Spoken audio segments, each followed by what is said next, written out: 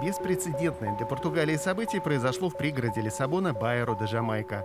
После ряда шумных событий сюда приехал с неожиданным визитом президент. А Андре Вентура, лидер партии Шега, «Хватит», которую нередко называют крайне правой, раскритиковал фото, на котором президент снялся рядом с местными жителями, которых политик назвал бандитами. Они подали в суд на Вентуру, обвинив его в дискриминации на основании цвета кожи и социоэкономической позиции. Суд постановил, что политик должен извиниться.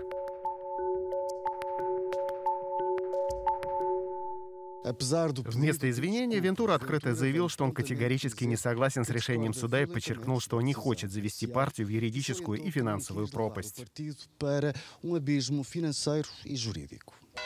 В городе Санто-Изидоро, в 50 километрах от Лиссабона, его партия показала особенно хороший результат на местных и президентских выборах, заняв третье и второе место соответственно.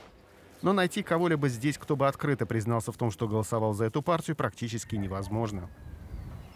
Они много говорят, а люди их слушают, все их слушают. Но я так не считаю. Те, кто высказывают более крайние позиции, все равно, короче, все останется по-старому.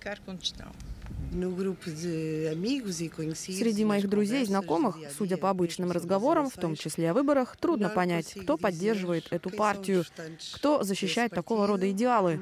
Здесь у нас никто не знаком с ее радикальными сторонниками.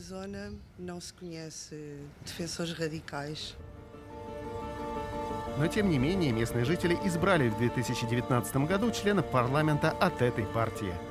74 — это группа журналистов, изучающих феномен радикализации. Недавно они инкогнито вступили в португальскую версию известной американской правой организации Proud Boys — так называемое португальское исключение из тенденции роста популярности правых было на самом деле мифом. Рост популярности партии «Хватит» совпал с ростом влияния крайне правых в Европе и во всем мире, о чем говорит избрание Болсонару, Дональда Трампа или популярность Марин Ле Пен во Франции. Вокс в Испании попал в парламент раньше партии «Хватит».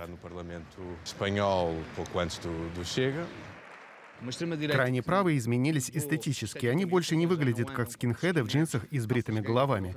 Теперь они носят костюм, галстук и подстриженную бороду. Вы можете не называть себя крайне правыми, но в то же время говорить крайне правые вещи, пользоваться неясностью и представлять себя жертвой. Идеи остаются теми же, даже если их открыто не высказывают.